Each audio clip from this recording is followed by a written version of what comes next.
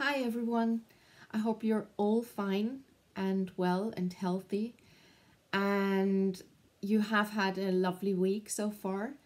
Um, today I'm going to talk about the third tool that has been very, very beneficial for my creative life, and that is the artist's date. Julia Cameron, the author of The Artist's Way, explains it that it, the artist's date is a receiving tool. During an artist's date, you open yourself up to inspiration, to insight, and to inner guidance. But what exactly is this artist's date? So, uh, how I understand it is that it is a period, a very specific period of time that you carve out for yourself each week, and that is dedicated to a date with yourself a date with yourself. Nobody else is allowed to join this fun. And this is the second thing I think it is about. It is about fun, having fun. Uh, and in a sense, like what helps me a lot to figure out what I can do, what will be helpful, or what I really will enjoy a lot, is that I think like the inner artist is basically a child. So, what would I have enjoyed as a child to do very much? Like maybe watching a certain film or going for a walk along a river and throw stones into the water. Probably it is going to the zoo, or it could also be joining a flamenco or hip hop class. I'm sure they are available online as well if you can't go outside for whatever reason. So it is a certain period of time that you dedicate to something you will enjoy very much and makes you in a way feel very special. But of course, I appreciate that we are all busy people and a lot of us have families and it is really not easy to carve out that period of time every week for ourselves. So what can you do? I mean, I recommend and I have done that and it works really well to really talk with your family, explain to them what the artist's date is, what it means to you, and how it will be beneficial for you and them because you need to recharge your batteries regularly. If you don't do that, you will your energy levels will be empty at some point and then you can't really care for your family the way you want to care for them.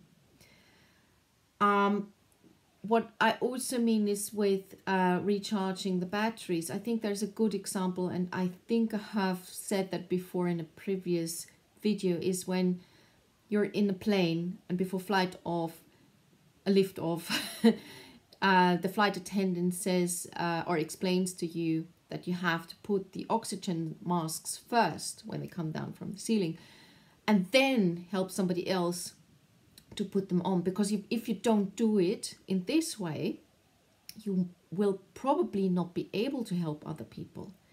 And the same is for your energy levels. If you don't make sure that you care for yourself first and make sure you have your energy levels up, at some point you will not be able to care be able to care for other people.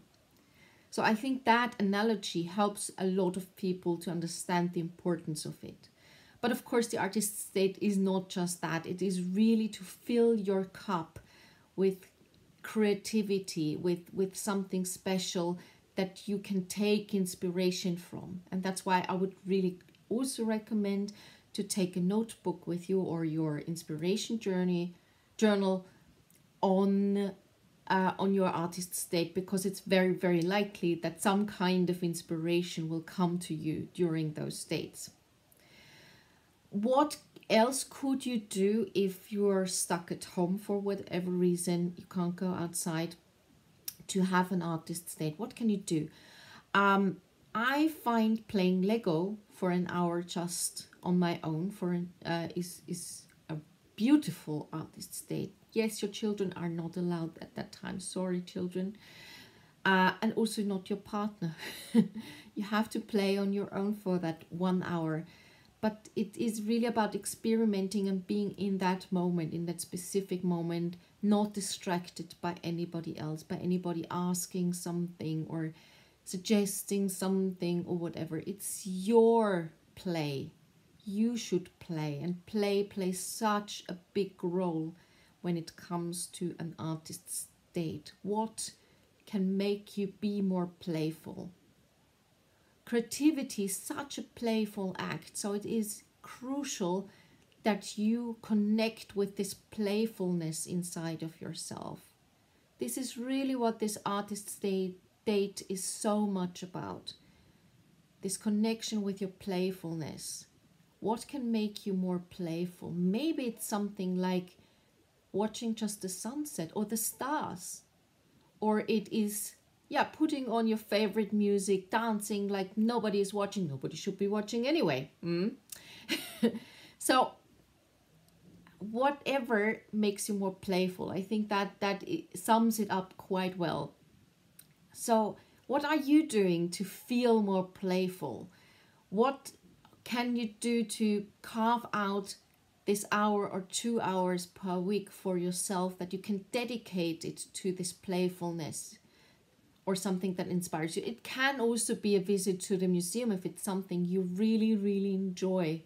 But uh, maybe it's not your thing, and that is also okay. It's not about doing something high creative artsy thingy this is not the time for it there's the other periods of time for that but if it is that thing for you you can do that of course there are no limits to that, really. The only limit is that you don't share it with somebody else. Sorry for everybody else, and you will have to endure yourself, but it will be good. I promise you. Even if it feels really strange at the beginning, but it will be really good.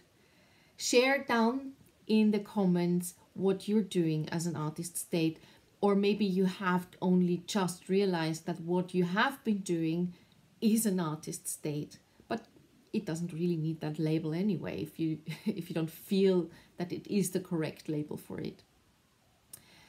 Give us your insights. Share your experience. We all benefit from that. Will we will it will give us inspiration for our own dates our own artists dates. And i hope i gave you some inspiration today for your artists dates.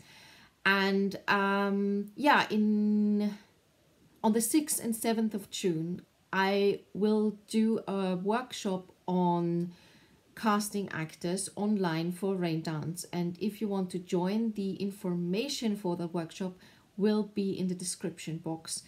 Uh, and also the links to all the other tools the, uh, that help me in my creative life. And I hope yeah you enjoyed this. If you like this video give me a thumbs up if you want to subscribe and haven't already, then uh, feel free to do so. I'm very happy about that, of course. And we will see each other very soon. Stay healthy, stay safe, and stay creative. Bye bye.